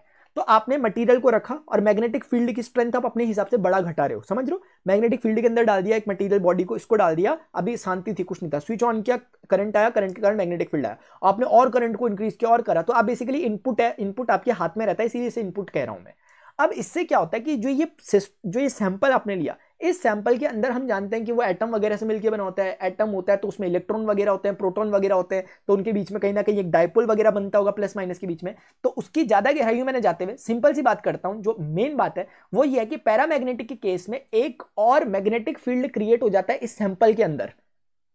By the influence of an external magnetic field, what you, what is, which is applied by जो आपके द्वारा अप्लाई किया गया है उसके इन्फ्लुएंस में आने के कारण इसकी बॉडी में इस तरह के चेंजेस कुछ होते हैं कि इसके अंदर भी एक इंटरनल मैग्नेटिक फ़ील्ड क्रिएट हो जाता है। और वो इंटरनल मैग्नेटिक फ़ील्ड का डायरेक्शन क्या रहता है? Along to the direction of an external magnetic field एक बात, ऐसे ही करके, अब दूसरा, अभी समझाता हूँ कंक्लूड करूँगा, चिंता मत करो। अब हम लेते हैं दूसरा एग्जांपल डायमैग्नेटिक का। फिर से हमने डायमैग्नेटिक में एक इनपुट के तौर पे एच दिया अपना। एच मतलब मैग्नेटिक फ़ील्ड स्ट्रेंथ हमने चालू की लगा मैग्नेटिक फ़ील्ड इंटेंसिटी हमने चालू की लगाना, ठीक है? अब उसके कारण क्या होता है? इस काइंड ऑफ़ मटेरियल की क्या प्रॉपर्टी होती है कि ये जस्ट ऑपोजिट एक मैग्नेटिक फ़ील्ड क्रिएट करता है। जस्ट ऑपोजिट मैग्नेटाइज होता है। ये एम जो रिप्रेजेंट कर रहा है, ये टोटल डायपोल मूवमेंट कह लो आप मैग्नेटिक डायपोल मूवमेंट कह लो या इसी को आप इंटेंसिटी ऑफ़ मैग्नेटाइजेशन भी कह सकते हो, क्योंकि इंटेंसिटी ऑफ़ मैग्नेटाइजेशन जो है वो एम पर ही रिलेट कर रही है। तो एम का और आई का डायरेक्शन दोनों का सेम होगा, बस थोड़ा फ़र्क ध्यान रखो एम का मतलब है मैग्नेटाइजेशन की इंटेंसिटी मतलब एम का मतलब है मैग्नेटिक डायपोल मूवमेंट और अगर मैग्नेटिक डायपोल मूवमेंट को पर यूनिट वॉल्यूम में कंसिडर किया जा रहा है तो उसी को हम इंटेंसिटी ऑफ़ मैग्नेटाइजेशन कहते हैं। तो आप आई भी लिख सकते हो एम की जगह कुछ चलेगा। फेरोमैग्नेटिक सब्सटेंसेस में क्या होता है? जैसे हम फेरोमैग्नेटिक सब्सटेंस को एक्सटर्नल मैग्नेटिक फ़ील्ड इंटेंसिटी के इन्फ्लुएंस में रखते हैं तो हम एक बात देखते हैं कि इसमें बहुत ज़्यादा तेज़ी के साथ एक रिपल्शन शो होता है, यानी ऑपोजिट डायरेक्शन में मैग्नेटाइजेशन होता है। तो ये तीन बातें देखने को मिली आपको। अब यहीं से पूरा गेम खत्म हो जाएगा अगर आपको बात समझ में आ गई। देखो, इस कहानी में यह समझ में आता है कि पैरामैग्नेटिक सब्सटेंसेस वो हैं जो एक्सटर्नल मैग्नेटिक फ़ील्ड में रखने पर फीबली अट्रैक्ट होते हैं बेसिकली उसकी तरफ़ अट्रैक्ट होते हैं। अट्रैक्ट होने का मतलब मैग्नेटिक फ़ील्ड के अलोंग डायरेक्टेड हो जाते हैं। कौन सर? किसकी बात कर रहा हूँ? मैं बात कर रहा हूँ सर पैरामैग्नेटिक सब्सटेंसेस तो पैरामैग्नेटिक सब्सटेंस कहीं ना कहीं मैग्नेटिक फ़ील्ड के एक्सटर्नल मैग्नेटिक फ़ील्ड में एक तरह का अट्रैक्शन शो करते हैं, यानी उसको, उसके अलोंग ही जाते हैं। उसको सपोर्ट करते हैं एक्सटर्नल मैग्नेटिक फ़ील्ड को। लेकिन बहुत हल्की मात्रा में। इसलिए आपको दिख रहा होगा मेरा एरो कंपेरेटिवली काफ़ी छोटा है। अब डायमैग्नेटिक सब्सटेंसेस वो हैं जिन्हें आप जैसे एक्सटर्नल मैग्नेटिक फ़ील्ड में रखते हो वो बिल्कुल मुँह फुला के दूसरी तरफ़ बैठ जाते हैं। यानी वो एक्सटर्नल मैग्नेटिक फ़ील्ड को बिल्कुल अपोज करते हैं लेकिन हल्के तौर पर बहुत भारी तरीके से अपोज नहीं करते कि बाहर का इनपुट ही कमज़ोर पड़ेगा करते हैं लेकिन हल्का सा रिपल्सन शो करते हैं। ये हल्का सा अट्रैक्शन टाइप का शो करते हैं। ये जो फेरोमैग्नेटिक है ये भी डायमैग्नेटिक ये भी डाय नहीं फेरोमैग्नेटिक में आ, हाँ फेरोमैग्नेटिक जो होते हैं ये भी एक रिपल्शन शो करते हैं। लेकिन इनका रिपल्शन का जो मैग्नीट्यूड होता है कंपेरेटिवली हाई होता है वेरी हाई होता है। एस कम इसलिए मैंने इसका एरो बड़ा बनाया। आपको समझ में आ पा रहा होगा शायद। तो पैरामैग्नेटिक एक तरह से मैग्नेटिक फ़ील्ड के अलोंग डायमैग्नेटिक और फेरोमैग्नेटिक एक तरह से रिपल्शन शो करते हैं, जिसके कारण आपको तुरंत समझ में आ गया एच और एम में डायरेक्शन का फ़र्क वगैरह आपको यहीं से समझ में आ गया होगा। अब एक टर्म पीछे मैंने यूज़ किया था, इसका नाम था magnetic susceptibility sir magnetic susceptibility मतलब मैंने बताया था कि नीचे पे लिखना है एच ऊपर पे लिखना है आई आई लिखो या एम लिखो, ठीक है? आप समझ पा रहे हो ये आई एम या आई एम या आई दोनों का डायरेक्शन को एक ही चीज़ में बताएगा, क्योंकि आप जानते हो आई और एम के बीच में रिलेशन बताया था पीछे आई बराबर एम अपॉन वी होता है, एक ही बात है। तो कुल मिलाकर के ये मेरा एक काइंड ऑफ़ इनपुट था, क्योंकि आप खुद सोचो इनपुट है, क्योंकि आप अपने अकॉर्डिंग मैग्नेटिक फ़ील्ड स्ट्रेंथ को बढ़ाया घटा सकते हो बाहर की मैग्नेटिक फ़ील्ड डेंसिटी को। जबकि ये एक काइंड ऑफ़ आउटपुट है। सर, ये आउटपुट क्यों है? क्योंकि इंटेंसिटी मैग्नेट ये क्या है? इंटेंसिटी ऑफ़ मैग्नेटाइजेशन कितना ज़्यादा मैग्नेटाइजेशन की इंटेंसिटी आ रही है? अलग अलग मटेरियल के लिए वो अलग अलग है ना? तो उसका मतलब सर, वो आउटपुट है। समझ में आ रही तो ये हो गया आपका जाई जिसे हम क्या कह रहे हैं? जिसे हम कह रहे हैं मैग्नेटिक ससेप्टेबिलिटी तो उसकी वैल्यू ये हो गई। अब आप एक एक करके समझोगे बातों को क्या क्या है। आप क्या, अगर मैं इसकी डायरेक्शन वगैरह से समझने की कोशिश करूँ, क्या आपको नहीं लगता आई और एच सेम डायरेक्शन में? तो क्या आप समझ पा रहे हो कि यहाँ पर जाई आपका ग्रेटर देन ज़ीरो होगा? मतलब पॉजिटिव होगा, मैं ये कहना चाह रहा हूँ। आप ज़ीरो के ग्रेटर देन ज़ीरो वही बात है वैसे तो लेकिन पॉजिटिव के टर्म्स में समझो, ज़्यादा अच्छे से मेरे ख्याल से समझ में आएगा। यहाँ पे जाई क्या है? सर पॉजिटिव है। सर, इन दोनों में जाई क्या होगा? सर, दोनों में ही जाई नेगेटिव होगा। मुझे ना एक छोटा सा ना कंफ्यूजन हो गया अचानक से, पता है आपको? एक मिनट रुक, रुकना पड़ेगा आपको। मुझे कन्फ्यूज़न हो गया इसमें अचानक से। अभी का अभी क्लियर कर लेते हैं। अब वो इतनी जल्दी थोड़ा मिल जाएगा। मुझे ना अचानक से कंफ्यूजन हो गया फेरोमैग्नेटिक में यार।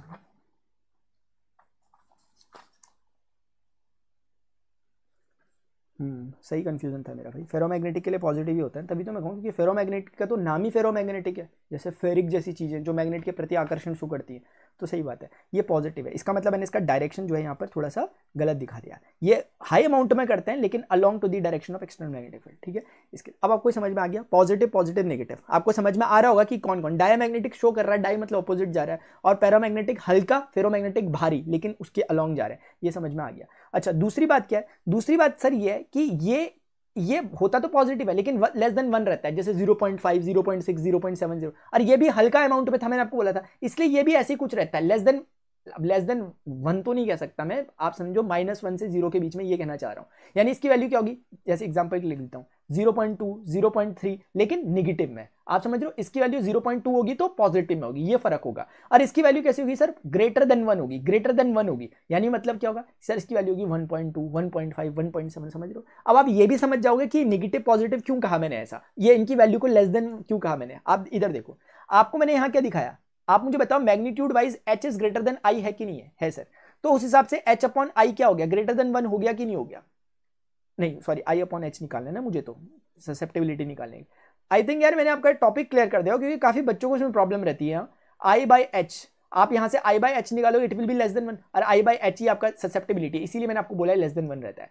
सिमिलरली आप इसमें भी यही काम करोगे, क्योंकि इसमें भी आपका आई कमज़ोर है, इसलिए ससेप्टेबिलिटी कम होगी। ऐसे समझो कि ये एक ही है और ये उसका दो गुना है है ना? लेकिन इस वाले केस में आप बाहर से जो एक्सटर्नल मैग्नेटिक वो लगाते हो एच लगाते हो, उससे ज़्यादा उससे ज़्यादा आपका वैल्यू मिलती है इंटेंसिटी ऑफ़ मैग्नेटाइजेशन को। यानी कहने का मतलब यह है कि इस समय आपका आई ग्रेटर हो जाता है एच से। तो आप जब आई बाई एच को निकालोगे this will be greater than one और आई बाई एच ही आपका ससेप्टेबिलिटी होता है that will be greater than one इसीलिए सर मैंने आपको एक एक चीज़ क्लियर कर दी, तीनों बातें बता दी, वो नेगेटिव पॉजिटिव क्यों होती है? क्योंकि यहीं से क्वेश्चन आएगा। क्योंकि सैंपल पेपर करा के वही क्वेश्चन थोड़ा देंगे एग्ज़ाम वाले। अब उन्होंने हमें हिंट दे रखा कि भाई इससे हम क्वेश्चन पूछ सकते हैं। मैंने कहा, लो, पूछ लो अब अब जो पूछोगे, अब कुछ भी पूछ लो आप। ये तो बहुत हल्का क्वेश्चन था हमारे लिए अब। देखो आप, क्यों था हल्का द रिलेटिव मैग्नेटिक परमिएब अच्छा एक बात लास्ट और बता देता हूँ उसमें, क्योंकि वो भी पूछी जा सकती है ना यार, इसलिए मैं कोई रिस्क नहीं चाहता। देखो ससेप्टेबिलिटी आपने देखा कि सर मैंने आपको देखो याद कराने के लिए कितना अच्छा याद कराया कि आउटपुट अपन इनपुट वरना बच्चों को यही याद नहीं हो पाता कि एच अपॉन आई है आई अपॉन एच है। मैंने इतना अच्छा आपको हिंट दे दिया कि सर ये इनपुट की सॉरी ये वाला इनपुट है और मैंने समझाया आपको इनपुट क्यों कह रहे हैं क्योंकि हमारे हाथ में है करंट वगैरह और ये आउटपुट है जो कि अलग अलग मटेरियल में अलग अलग होगा। ठीक है? और आप अपने नोट्स में अच्छे से इसे प्रिपेयर कर लेना ये वाले पॉइंट को। समझ लो, फिर आप कभी भी इसको कर लोगे। याद करोगे बार बार भूल जाओगे। समझ लेना। अच्छा एक और बात, सर, जाई की एक जो वैल्यू होती है ना, वो ये भी होती है। Mu times one plus I am sorry I am really sorry ये होती है म्यू आर बराबर वन प्लस जाई ऑफ़ एम यानी कि जो जाई होता है, यानी कि मैग्नेटिक ससेप्टिबिलिटी जो होती है वो डिपेंड करती है रिलेटिव परमिएबिलिटी पर।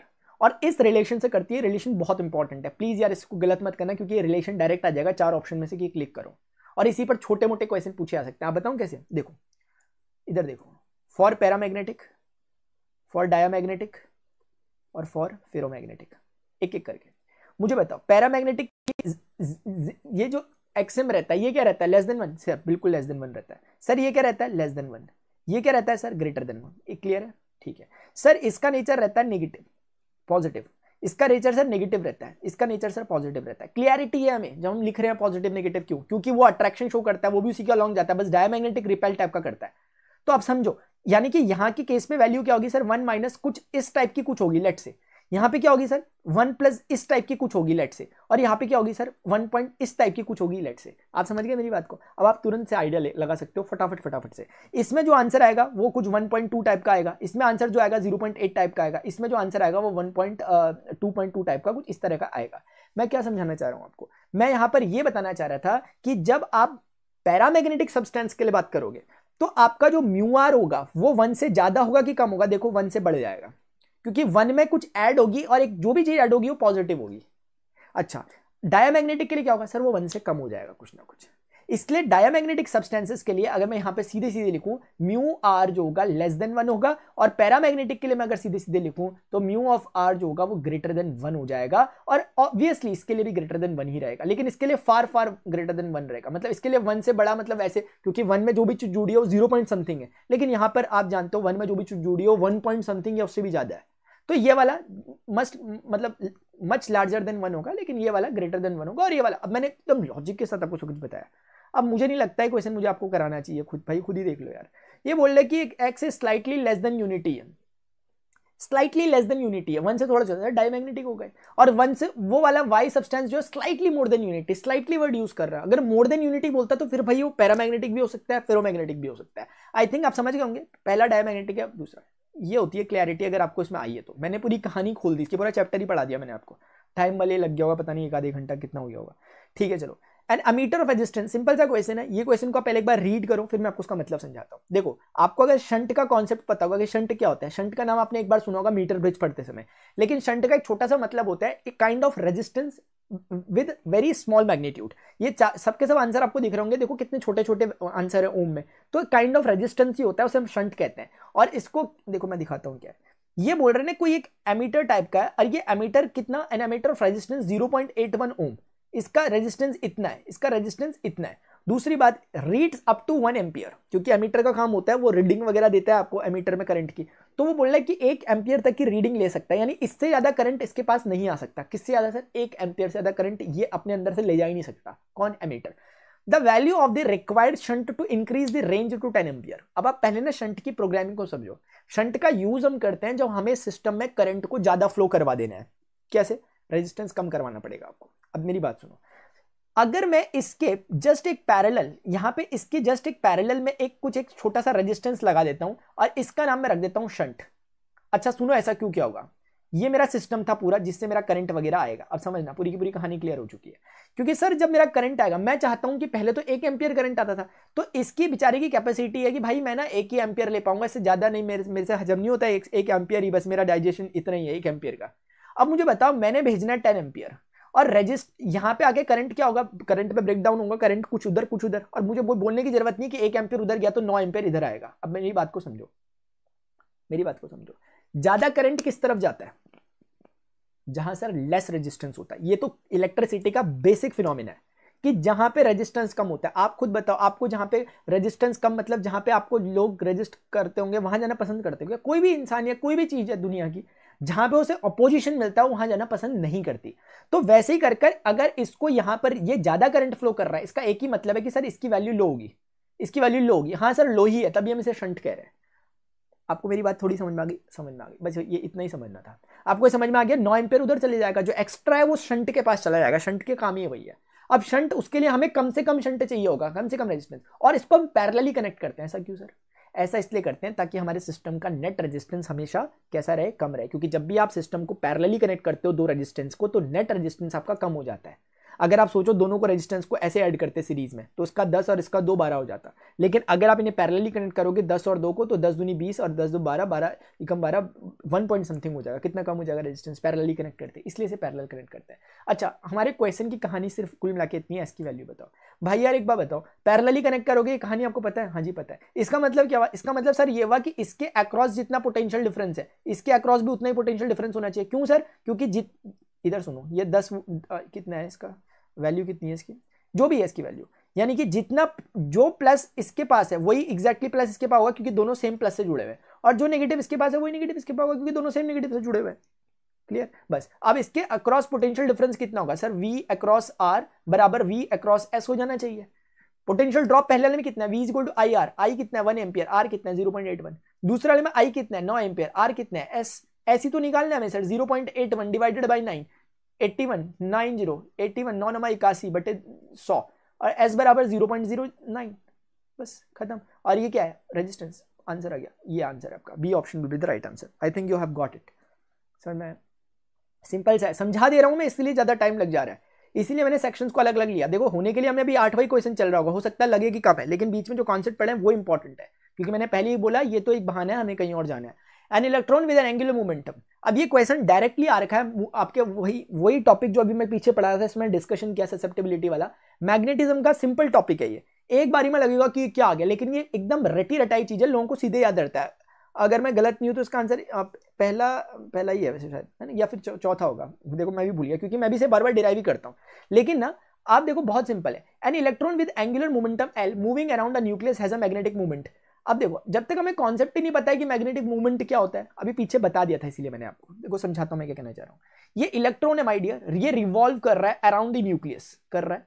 ठीक है सर अब ये इलेक्ट्रॉन जब अराउंड द न्यूक्लियस रिवॉल्व कर रहा है, यानी कि जब भी कोई चार्ज पार्टिकल घूम रहा है तो उसके आस पड़ोस पे मैग्नेटिक फ़ील्ड होगा, ये हमने पढ़ा है। और जब ये रिंग वगैरह में घूमता है तो ये एक तरह का मैग्नेटिक पोल की तरह काम करता है। जैसे कि अभी मैंने पीछे आपको बताया था कि एम बराबर होता है आई ए अगर आप भूले ना हो तो। आई एन ए बोला था, लेकिन यहाँ पर एन कोई ऐसी बात नहीं चल रही नंबर ऑफ़ कॉल्स की एक की है तो इसलिए एन को वन ले लिया।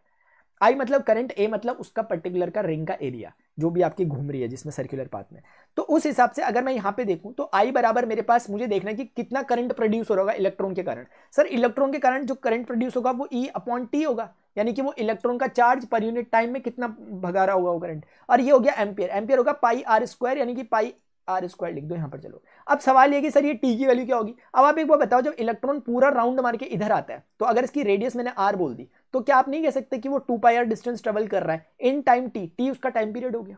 तो ये क्या निकल जाएगा? ये बेसिकली निकल जाएगा निकल जाएगा उसकी विलोसिटी टाइप में। आप समझ पा रहे हो मेरी बात? मैं ये कहना चाह रहा था ना कि अगर मुझे टाइम निकालना है तो क्या होगा? ये। क्या आप मेरी बात को थोड़ा बहुत समझ पा रहे हो? क्योंकि उन्होंने हमें बोला है शायद कि बोला नहीं है कि किस वेलोसिटी से मूव कर रहा है। चलो हमने वी बोल दिया उसे। तो एम बराबर हमारे पास ई e हो गया और रही बात टी की तो टी को मैंने लिख दिया टू पाई आर और ये हो गया वी ठीक है? ऊपर चले गया। और ये रिज़ल्ट आ गया पाई आर इंटू आर और ये पाई आर इस आर से कट गया। एम बराबर आ गया E V R upon two शायद समझ गए होंगे।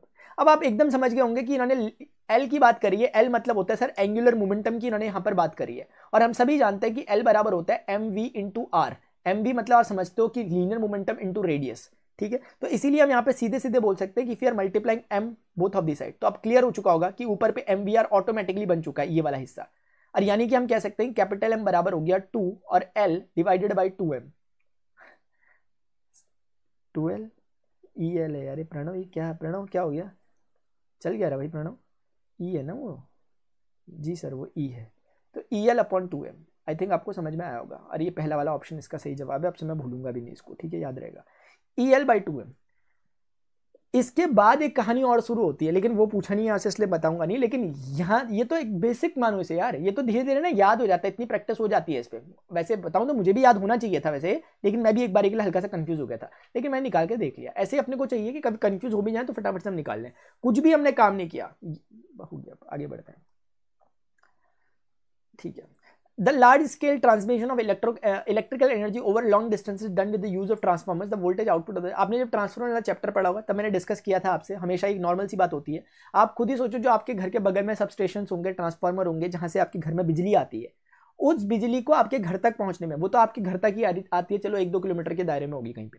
लेकिन एक जगह से बहुत बहुत लार्जर डिस्टेंस तक इलेक्ट्रिसिटी को ले जाया जा सकता है ट्रांसमिट करवाया जाता है वायर्स वगैरह के द्वारा। आप देखते होंगे कि किसी स्टेट से किसी दूसरे स्टेट में बिजली पहुँच रही होती है तो काफ़ी दूर से दूर तक बिजली पहुंचाई जाती है। क्योंकि कहीं ऐसा होता है कि प्रोडक्शन काफ़ी हाई होता है इन चीज़ों का तो वो उस स्टेट वो स्टेट दूसरे स्टेट को बेचता है। इंडिया में ऐसा चलता रहता है। तो कुल मिलाकर ये ट्रांसमिशन करना है। अब मान लिया आपने बनाई यहाँ पर कुछ, बहुत ज़्यादा आपने एक अमाउंट ऑफ़ इलेक्ट्रिसिटी बनाई। अब आप उसको वहाँ भेज रहे हो। अब इतना तो वो जाते जाते दम तोड़ देगी अपने रास्ते में तो यूज़ क्या करोगे? इसके लिए हम एक कोशिश करते हैं। हम उस इलेक्ट्रिसिटी को जो होता है, उसको हम स्टेप डाउन कर देते हैं। अब मैं बताऊँगा स्टेप डाउन स्टेप अप क्या वैसी चीज़ें बताई रहती हैं।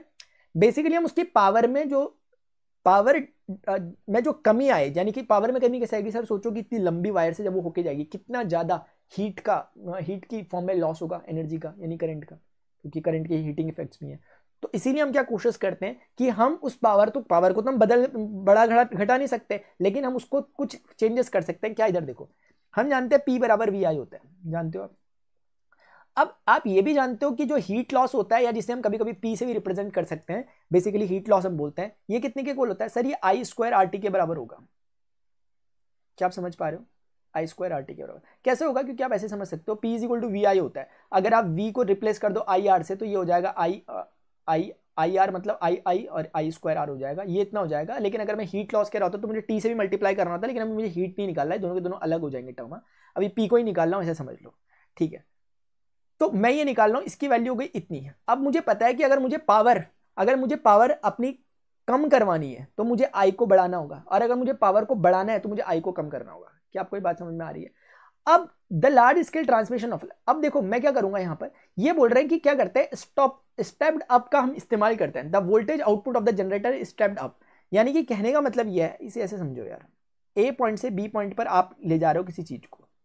ये बोल रहे हैं कि ये ना स्टेप अप यहाँ पे पोटेंशियल हमें बढ़ावा मिलता है और यहाँ से पोटेंशियल जो गया उसे घटा के भेजा और यहाँ जाके वो पोटेंशियल बढ़ गया। यानी स्टेप अप पोटेंशियल का हमने यूज़ किया, यानी कि हमने पोटेंशियल को बढ़ा दिया। अब सोचो जब आप पोटेंशियल को बढ़ा रहे हो तो आपको करंट को क्या करना पड़ेगा ताकि रिज़ल्ट आपका सेम रहे? सर, हमें करंट को घटाना पड़ेगा। फॉर एग्ज़ाम्पल समझो, मान लेते हैं पहले इसकी वैल्यू इसकी वैल्यू फॉर एग्ज़ाम्पल फाइव थी और इसकी वैल्यू टू थी फॉर एग्ज़ाम्पल अब मुझे फाइव को बढ़ा करके, मान लिया मैंने फाइव को बढ़ा करके एक बार के लिए मैंने टेन कर दिया। अब मुझे बताओ टू को मुझे कितना करना पड़ेगा? सर, मुझे टू को बढ़ा करके फाइव करना हो क्या यार, मैं भी ना कभी कभी ना फाइव को बढ़ा करके अगर मैंने टेन कर दिया अब मुझे इसे बड़ा करके एक, कम करके एक कर देना पड़ेगा। क्यों? क्योंकि मुझे फाइव टू जार टेन और टेन वन जार टेन ही रहना चाहिए। रिज़ल्ट दोनों सेम रहने चाहिए। इसका मतलब जब मैं वी को बढ़ाऊँगा तो मुझे आई को घटाना होगा। क्यों? क्योंकि पावर कॉन्स्टेंट है ना, उसको नहीं घटा बढ़ा सकते तो डायरेक्टली आप समझ सकते हो वी आई अगर कॉन्स्टेंट होगी, आप ऐसे भी समझ सकते हो V is directly proportional to one upon I यानी वी में बढ़ेगा तो आई घटेगा। यानी कहने का मतलब यह है कि अगर आप आई को कम से कम रखोगे तो आपको वी ज़्यादा से ज़्यादा बढ़ाना पड़ेगा। और आई कम से कम रखा क्यों जा रहा है? क्योंकि आई अगर कम से कम रखोगे तो हीट ये जो पी होगा, ये कम से कम होगा। क्यों? क्योंकि एच बराबर होता है एक तरह से पी टी और इसका मतलब हो गया आई स्क्वायर आर टी और कहने का मतलब है हीट लॉस आपको कम से कम अगर कराना है तो आप चाहोगे कि मेरा कम से कम करंट फ्लो उसमें। और कम से कम करंट फ्लो तब होगा जब आपका पोटेंशियल हाई होगा। इसीलिए आपको समझ में आ रहा होगा कि आई को कम करा दिया गया है और पोटेंशियल को बढ़ा दिया गया है। स्टेप अप ट्रांसफॉर्मर का इस्तेमाल किया गया अब इसमें देखते हैं ऑप्शन वगैरह क्या क्या है। तो इसमें जैसे अगर हम देखेंगे reduction of current reduction of current हाँ जी, हमने करंट का रिडक्शन करना है, क्योंकि करंट का अगर हम रिडक्शन करेंगे तो करंट के रिडक्शन से वी पे को बढ़ाना पड़ेगा, क्योंकि पी पे तो हम छेड़छाड़ कर नहीं सकते, ठीक है। Power loss is cut down बिल्कुल सही बात है। पावर लॉस को हम कम करना चाहते हैं, आप समझ गए। Reduction of current and voltage both current और वोल्टेज को हम एक साथ घटा बढ़ा नहीं सकते ना, क्योंकि एक बढ़ेगा, आप समझ रहे होंगे बात को यहाँ से। आप जब बढ़ाओगे तो दूसरा ऑटोमेटिकली घट जाएगा। ठीक है? तो हमारा डी ऑप्शन उस हिसाब से सही होगा। आई थिंक आप समझ पाए होंगे इस बात को। The diagram below the diagram below show the electric field E and magnetic field component of electromagnetic अभी हाल ही में वन शॉट बनाया था। इससे पहले जो लास्ट वन शॉट अभी बनाया वो इसी का बना हुआ है। अब ये पूछ रहे हैं, आप हमसे एक बात बता दो आप। हमने बोला, क्या सर? बोले इलेक्ट्रोमैग्नेटिक वेव्स जो होती हैं, उसमें बताओ कि the direction of propagation of इसी क्वेश्चन को ये बोल सकता है the direction of Poynting vector मैंने हाल ही में आपको बताया था डायरेक्शन ऑफ़ पॉइंटिंग वेक्टर आपको याद होगा पॉइंटिंग साइंटिस्ट का नाम था। वो हमेशा क्या होती है सर डायरेक्शन ऑफ़ प्रोपगेशन हमेशा E vector cross B vector के बराबर होती है। मैंने कल ही आपसे बोली थी ये बात, जब अभी रिसेंटली लेक्चर बनाया था। B vector cross E vector मत करना, गलती हो जाएगी। बस E vector cross B vector कैसे करना है? ई नीचे पे से बी की तरफ़ कर्ल करो, आपका थम बाहर को आएगा। आउट ऑफ़ द प्लेन आएगा। आएगा नहीं आएगा, आप देख लो करके। आप ई से ई में राइट हैंड रखो और बी की तरफ़ कर्ल करो नेचुरल कर्ल करो। आपका थम देखो बाहर की तरफ़ आ रहा है। ई पे हाथ रखा बी की तरफ़ कर्ल किया नेचुरल थम बाहर की तरफ़ को आ रहा है। बाहर की तरफ़ कहने का मतलब है आउट ऑफ़ द प्लेन आ रहा है। यानी कि इस पे डायरेक्शन ये होगा। यानी कि the propagation of E and B out of the plane of the paper हाँ परपेंडिकुलर होगा बात बिल्कुल सही है आउट ऑफ़ द प्लेन होगा ये भी सही है। पैरेलल तो होगा नहीं पैरेलल होगा नहीं perpendicular to E and B into the plane into the plane नहीं होगा।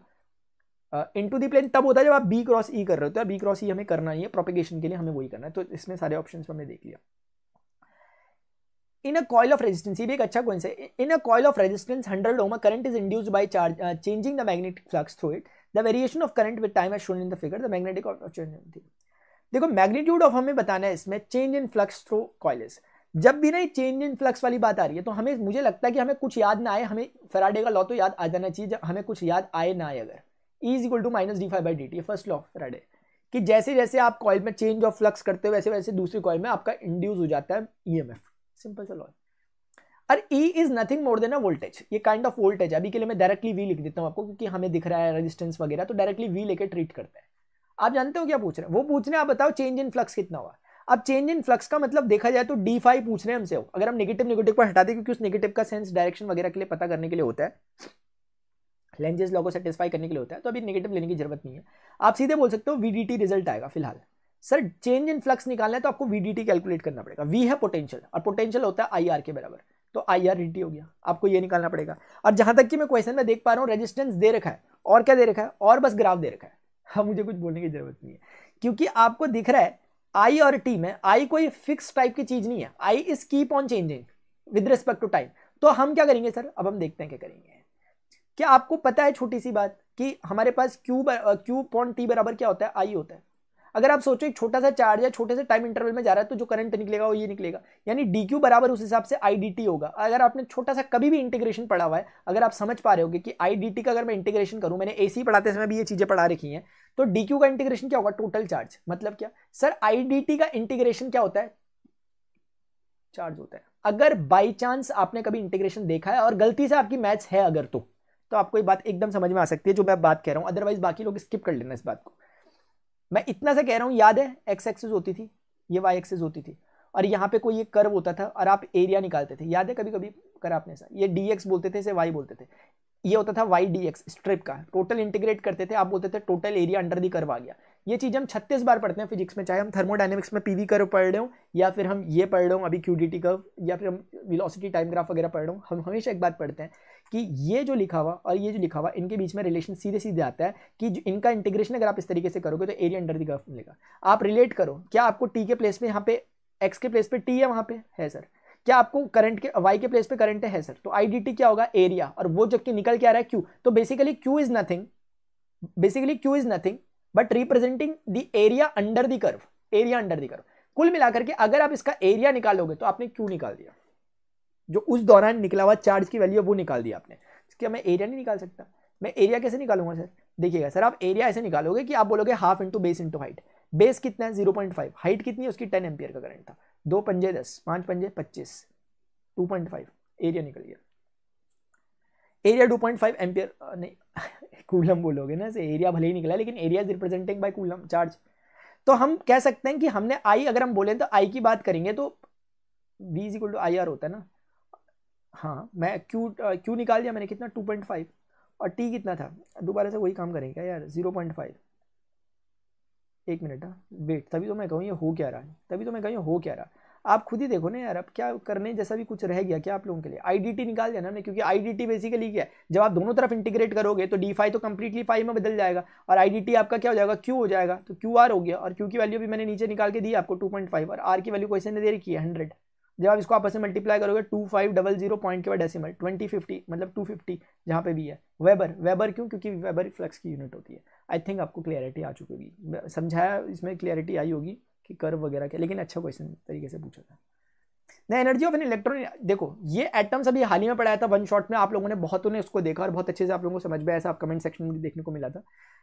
इसकी डिटेल तो मैं ज़्यादा डिस्कस नहीं कर सकता, लेकिन आपको बता सकता हूँ यार, आपको यार देखो याद होना मतलब याद नहीं ये चीज़ें अच्छे से समझ में आनी चाहिए। आपको बिल्कुल पता होना चाहिए पूछा नहीं है हमसे बोर की रेडियस क्या है, लेकिन इसके बिना पूरा क्वेश्चन चैप्टर अधूरा रहता है। आपको बिल्कुल ये याद होना चाहिए, एक लेक्चर देखोगे आपको ये सब कुछ क्लियर हो जाएगा।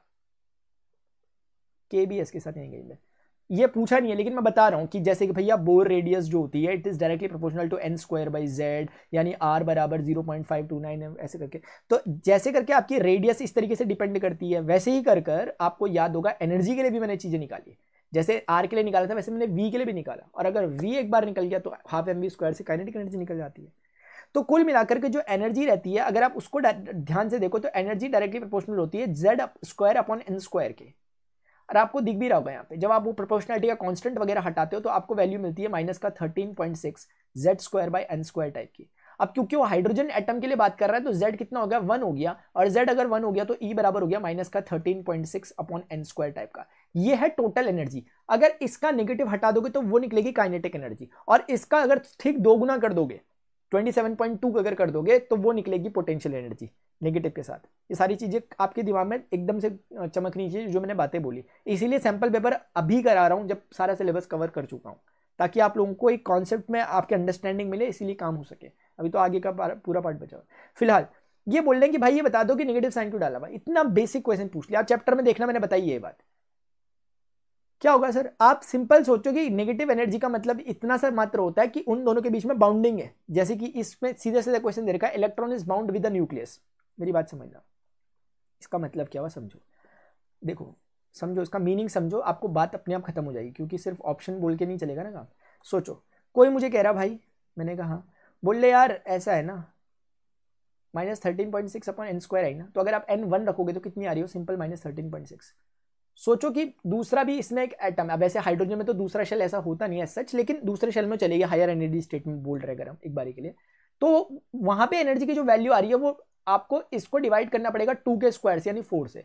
And this will be like something like three point four आपको ऐसा मिलेगा, ये रिज़ल्ट मिलेगा। ये मिलेगा। आप मुझे सिर्फ़ ये बताओ विच वन इज़ ग्रेटर यहीं से कहानी खत्म। Sir minus thirteen point six and minus three point four में this thing is greater greater क्या आपको लग रहा है कि हायर एनर्जी स्टेट हायर आप सच में लग रहा है कि आप हायर एनर्जी स्टेट में जा रहे हो हाँ सर एनर्जी स्टेट हायर क्योंकि ऊपर जाने पे एनर्जी हाई हो रही है। आप समझना जरा, हुआ क्या है? आपको नहीं लगता ऐसे ऐसे करते करते जब ये नेगेटिव से, जैसे ये नंबर लाइन है नंबर लाइन में माइनस थर्टीन पॉइंट सिक्स इधर कहीं होगा माइनस थ्री पॉइंट फोर इधर कहीं होगा, यहाँ कहीं ज़ीरो होगा, और यहाँ कहीं पॉजिटिव वैल्यूज़ होंगी नंबर लाइन में। आपको नहीं लग रहा कि जैसे सब हायर एनर्जी स्टेट में जा रहे हो तो आप इस तरफ़ जा रहे हो तो कभी ऐसा भी टाइम आएगा जब आप ज़ीरो पे जाओगे? हाँ सर आएगा ऐसा टाइम और फिर कभी ऐसा भी आएगा जब आप पॉजिटिव जाओगे? हाँ सर तो ज़ीरो ये बेसिकली वो टाइम है जिस समय इनके बीच में बिल्कुल आखिरी बार बाउंडिंग बनी होगी। इसके बाद एनर्जी दोगे तो फरार। अब सरल शब्दों में समझो पूरी कहानी को। इसका मतलब यह है कि जैसे इस इलेक्ट्रॉन को minus thirteen point six joule energy है यह सीधी सी बात कहना चाह रहा है कि अगर आपने गलती से भी इसे प्लस की थर्टीन पॉइंट सिक्स जूल दे दी प्लस की तो प्लस और माइनस एग्जैक्टली आंसर ज़ीरो हो जाएगा। अब ये फ्री हो जाएगा बाउंडेशन में नहीं रहेगा। अभी से क्लियर है? थोड़ी सी बात समझ में आई? क्या कहना चाह रहा हूँ? बस ये। तो नेगेटिव साइन बताता ही है कि इसको फ्री करने के लिए कितनी और एनर्जी की ज़रूरत है। अभी ये बाउंडेड है। नेगेटिव साइन बता रहा है भाई ये बाउंडेड है, छेड़ना मत से इसीलिए electron bounded with the nucleus शायद मैं बताने में सक्षम रहूँगा। क्या है भाई? खत्म हो गया?